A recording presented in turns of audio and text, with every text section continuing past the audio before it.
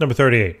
A spherical particle falling at terminal speed in a liquid must have the gravitational force balanced by the drag force and the buoyant force.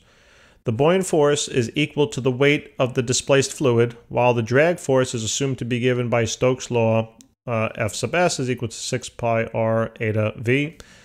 Sounds Greek to me. Uh, show that the terminal speed is given by blah, where r is the radius, density of the sphere, density of the fluid, and is the coefficient of viscosity. Okay, um, so first, uh, here's a simple picture, right? We have a spherical ball. It says it's traveling at terminal speed. So basically the speed is constant. Okay, that's what terminal speed means. So this thing is going to be traveling downwards, you know, in this um, in this fluid, although there is no acceleration. Okay, so the acceleration is equal to zero. Now, just from that, if the acceleration is equal to zero, and we're talking about all these forces in here, right, what do we know? We know that, remember, that the sum of the forces is always equal to the mass times acceleration. If A is zero, then that means the sum of the forces have to be zero. Okay, let's keep this in mind. All right. Now let's detail the forces in the picture. So there is a certain, so it tells us three forces, right? Gravitational force, it tells us uh, drag force and buoyant force. So gravitational force we know, right? That's pointing down. So the gravitational force here will be, be, be pointing directly down. So we'll call that F sub g, the force due to gravity. And it tells us in the problem that this particular force will be balanced by, and that means opposed, okay? It will be opposed by the buoyant force. So the buoyant force is pointing up, so we'll call that F sub b. And it also says that it's uh, you know, balanced by the drag force. So the drag force is also pointing up. I'll just try to draw it right next to it. So I'll call that F sub D. Now, given this the nature of this picture, right, we can now take these forces and plug it in for the sum of the forces on the left-hand side.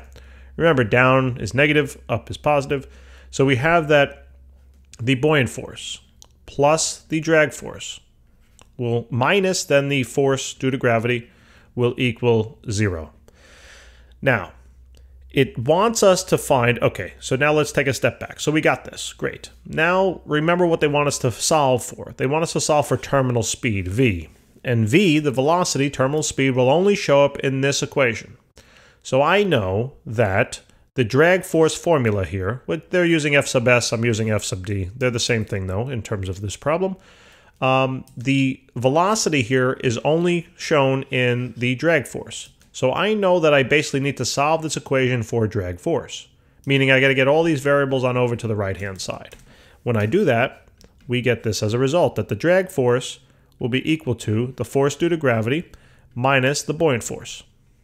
Okay, so now let's start working and expanding on this. Okay, I'm going to leave the left-hand side alone for now just to simplify it for uh, a minute.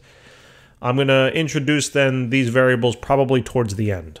Okay, let's just focus on each of these pieces. All right, so we know that the drag force here must be equal to then the force due to gravity. So how do you calculate that, right? What's force due to gravity? You know this, right? This is the mass multiplied by g.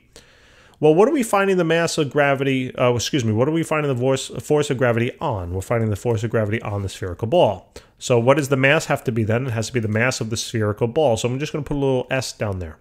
All right.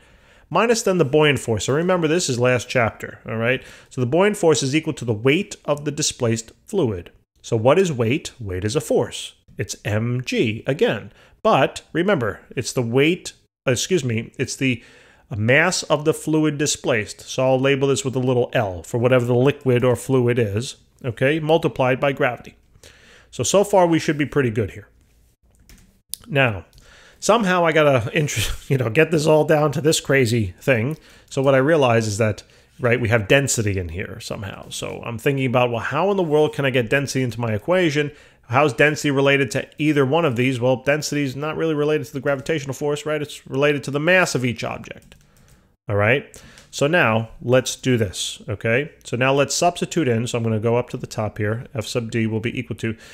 Remember that the density of an object is equal to the mass of that object divided by the volume of that object. So if I want to find the mass, according to this formula, it would be mass is equal to density, density multiplied by volume.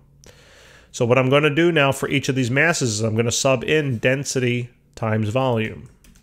So we have now for the ma for the mass of the sphere, I can then write it's going to be equal to the density of that sphere times the volume of that sphere. Okay? Minus then, oh, well, excuse me, times g, right? Don't forget that. All right, so I just took care of that part. Minus now the mass of the liquid. So the mass of the liquid is equivalent to the density of that liquid multiplied by the volume of that liquid multiplied by g. Okay, now let's, so now what we need to do is think about what's the relationship between this volume of the liquid and this volume of the sphere. They're equal, right? Remember, this is the volume of the liquid that is displaced. And if you look in terms of the picture, right, whatever volume this sphere is taking up, it's taking up the space where water would have been.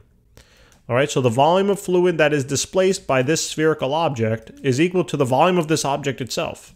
Okay, so what I'm going to do is I'm going to plug that in now.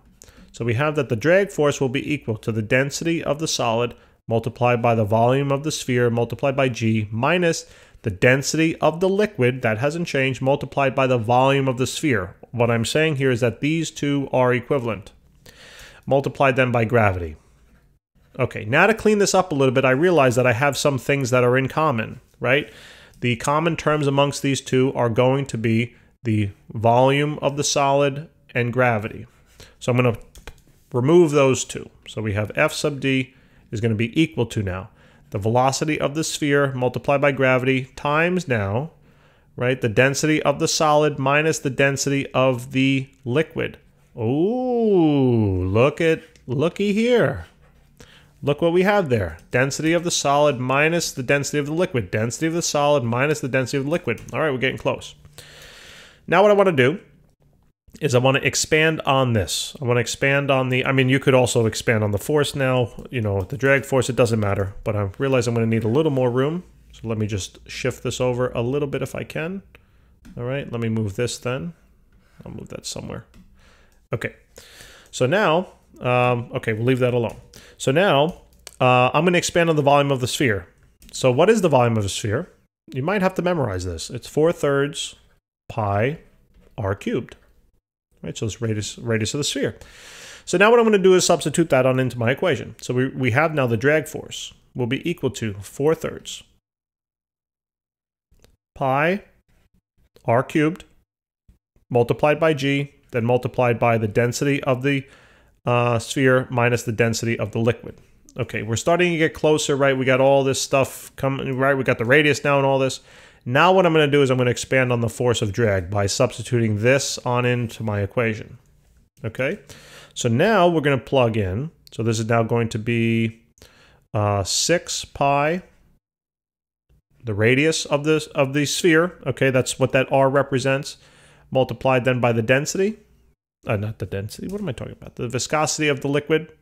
All right, uh, multiplied then by v, and that's now going to be equal to 4 thirds pi r cubed times g times then the density of the sphere minus the density of the liquid. Okay, now we can start canceling some terms, right? You got pi on both sides and they're both in the numerator, so that goes bye-bye. You have a radius here and you had three radii here, so get rid of one of them. Now you also have a 6 over here and you have a 4 in the numerator, so you can reduce that 2 if you wanted. 6 can reduce down to a 3, and the 4 you can reduce down to a 2. And that's it. That's all you can now reduce. Now remember, we're solving for this. We're solving for v.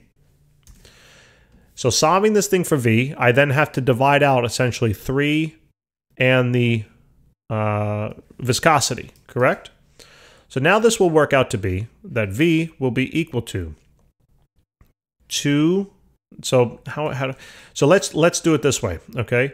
Essentially this 3 will come down and multiply with this 3 as well as this viscosity will also move down into the denominator okay? So what's going to happen now is we're going to have 2 over 9 all right times then r squared r squared times g and this is now over, if you wanted to put this over, it doesn't matter how you organize it, but this is over then the uh, viscosity. And that will then be multiplied now by density sub S minus density sub L. And here it is, look. this is it, right? I'm just going to reorganize this a little bit just so that it matches. So this is 2r squared times g all over uh, 9 times the viscosity times then density sub s minus density sub L. And there it is. All right. I use lowercase r, they use uppercase, whatever. Just substitute it if you want. All right. So uh, that's it. That's how we go about it. We start from a set of simple, right? Very, very simple, uh, a very simple premise, and then we expand from there. All right. I always want you to think that way amongst these problems. Start simple. Try to find the, the underlying factor that is important in the question. And usually it's they're very simple ideas. Usually, not all the time, but usually it's conservation of energy, right? Energy in equals energy out.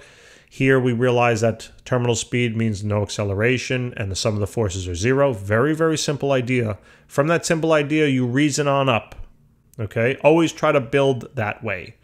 And that should hopefully increase uh, your problem solving ability. Guys, thanks for tuning in. Appreciate it very much. Hopefully, you can subscribe. And if you can't, hit the button anyway. Thank you.